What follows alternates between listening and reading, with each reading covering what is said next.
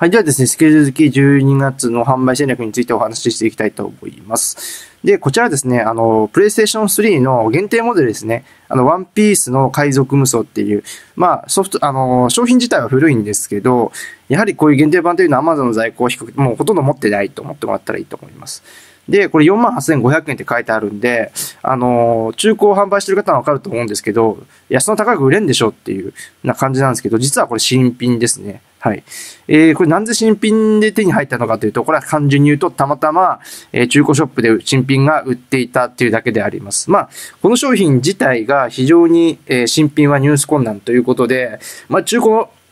よりももう本当に2万円近く高い相場になってるんですけど、やっぱりこういった商品って新品いつ売れるかわかんないっていうのがあるんですよね。あの、多少甘賞で、あの、販売者の増減、出品者の増減で、新品が売れてるか、売れてないのか判断することはできるんですが、やはりどうしても不安があるというような時に、に、やはりこういう商品を12月前に仕入れておいて、売れやすい12月の前に仕込んでおくと、こんな商品も早く解除、資金が回収できるというか、販売できるというような戦略も少し考えておりました。まあ、こういうので問わず、まあ、別に DVD のボックスの新品とかでもいいですし、その中古と新品の価格差が高いものに関しては、やはり年末商戦を一つ使うのもありかなというふうに思っております。で、えー、っとですね。ちょっとずれてるんですけど、こちらですね、えっ、ー、と、プリキュアのまたおもちゃですね。はい。こちらはですね、もう単純に、えー、在庫切れしてたということであります。まあ CD 自体も安かったんで、CD ができたっていうのもあるんですけど、本当にえー、去年2013年の12月は、えー、何が在庫切れを起こすかわからんっていう状況でしたね。2012年の年末商戦に関しては、もう本当に、えー、ビッグ4、まあ自分が勝手に名付けてるんですけど、そういった商品をかき集めてくれば、えー、稼ぐことができるっていうような状況だったんですけど、ちょっと2013年は散ったようなバラ、えー、バラバラになった感じですね。ただ、やっぱりその分一つの商品に対してライバルが寄ってくる、えー、その参入者の数が少なかったっていうのもあったんで、まあ、そういろいろな知識を持ってた人間が、えー、しっかり利益取れた、えー、売り上げを上げることができたというふうに思っております。で、あとは、あと一つですね、これ最後の商品になるんですけど、こちらですね、まあ、えー、っと、あの花見たな、えー、あの花ですね、あの日見た花の名前を僕たちは知らないという、まあ、DVD のボックスです。ボックスじゃなくて全巻セットですね。こちら、えっ、と、アマッショーとか、プライスチェックを見てもらえばわかるんですけど、そんな回転良くないんですよね。まあ、今、その、ブルーレイボックスが、まあ、3月5日だったに発売されてるんで、あの、劇場版だったかなはい。あの、関連商品が販売されてるんですね。なので、ちょっと、えー、回転が上がってるんですけど、基本的にこの商品でバンバン売れるような商品じゃないんですよね。でも、やっぱり、えー、新品で、なおかつ動かない商品っても、年末商戦、えー、財布も紐が緩むっていう時期を見越して仕入れて、まあ、販売することができたということであります。まあ、ちょっとその先ほど挙げたワンピースと似たような感じですね。はい。以上で、あの、まあ、具体的な販売例は終わりにして、え次はですね、あの、結構、えー、言われるのが、自分は一人で発想も仕入れも全部やってたんですよね。まあ、えー、っと、じゃあなんで一人でそこまでいけたかっていう話なんですけど、実はですね、もう予測できてる方はできてると思うんですけど、先に消費仕入れの商品を仕込んでおくっていう感じですね。じゃあ12月の年末商戦でがっつり売り上げたいのに、仕入れを12月からじゃあしっかりやろうというのでは遅すぎるのであります。まあ、私の場合10月から仕込んでおいたんですけど、まあもちろん資金に余裕がある場合じゃないとできないっていうことにはなるんですけど、やっぱり、えー、ある程度仕込んでおかないと、一人の力には限界がある。まあ、人を雇えよっていうことも言われてたと思うんですけど、あの、一人でやってました。はい。なんで一人でやると、本当に売れるんですよ、年末商戦って。なので、シールと梱包が間に合わないというので、もうあらかじめ仕込んでおくっていうのは一つの戦略で、えー、10月頃から考えておりました。はい。あと三つ目ですね。あの、結構知らない方いるのかなまあ、知ってる方は知ってると思うんですけど、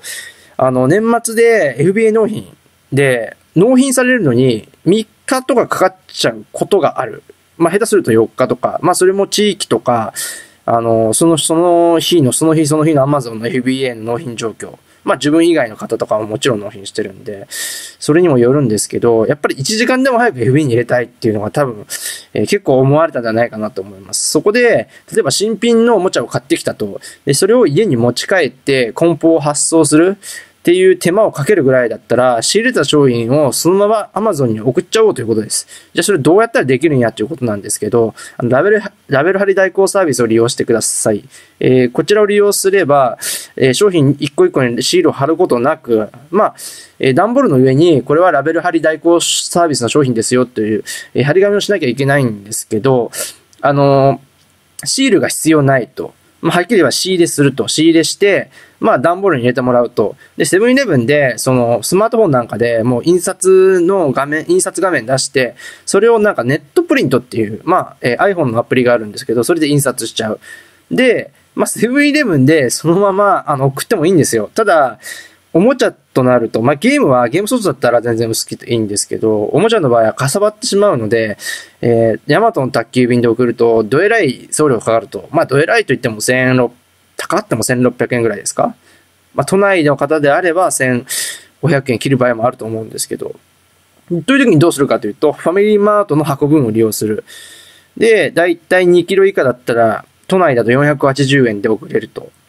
ということで、まあもちろん、あの、セブンイレブンで発送してもいいんですけど、白分との、えっ、ー、と、その特にかさばった場合、160サイズのものを送るとなると、送料が1000円ぐらい違ってくるんですよね。まあちょっと手間かかるけど、自分は、えー、ファミリーマートで発送しておりました。まあ、それじゃ正直どっちでもいいと思います。あの、本当に、あの、そのぐらいの体力使うんだったら、1000円高くてもセブンイレブンで、あの、ヤマトで送っちゃうよっていう手もあると思いますし、まあ、その送料1000円節約するって意味でファミリーマートで発送してもいいと思います。ちなみにファミリーマートの箱分というサービスもスマートフォンで、あの、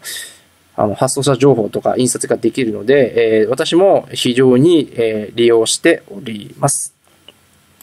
で、まあ私の600万の戦略っていうのは以上なんですけど、まあ、えー、っと、まあ、セドリ全般に言えることで、まあ、セドリの売り上げっていうのは行動量に比例するっていうことであります。まあ、本当になんていうんですかね、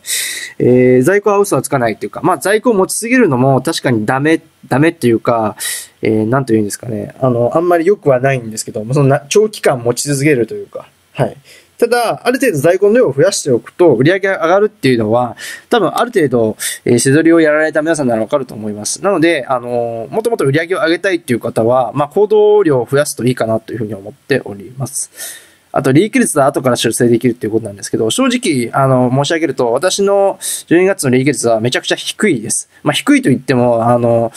10%切るとかそういうレベルではないんですけど、あの、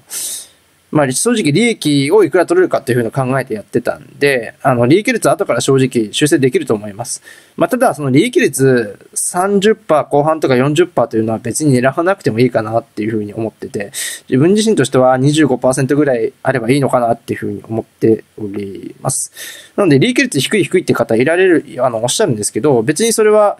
えっ、ー、と、後から修正できることであって、逆にその利益率、あの、すぐ売れるのに、あの、利益率が低いから仕入れないっていう考え方自分はあんまりお勧めしてなくて、やっぱり一度販売してみる、販売経験を多く積むことによって、商品知識もつきますし、経験も増やせるんで、最初は利益率、まあ、ドムシっていうか、利益率5%の商品でも取るっていう、そういうスタンスではないですけれども、ある程度利益額が取れるようであれば、バンバン商品を仕入れて売った方がいいかなというふうに思ってております。えー、以上が私の、えー、600万の戦略、まあ、売上600万を超えた一つの戦略であります。まあ、2014年も年末商戦が、まあ、まあ、ある、あるんですけど、えー、それをやられる方はぜひ参考にしていただければいいかなと思います。以上になります。